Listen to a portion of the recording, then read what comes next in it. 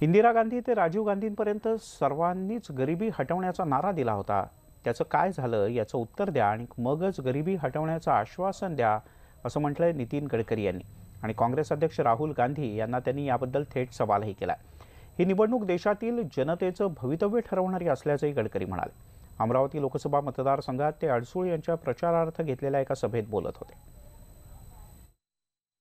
राहुल गांधीजी पहिले या बाबतीचा जबाब द्या.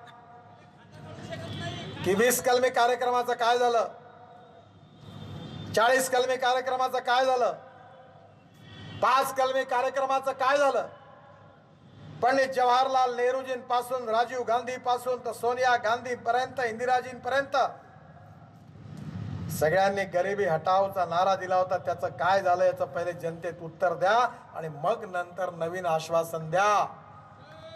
नाही तर जनता हेच म्हणेल की लबाडाकडचं आमंत्रण जेवल्याशिवाय खरं नाही.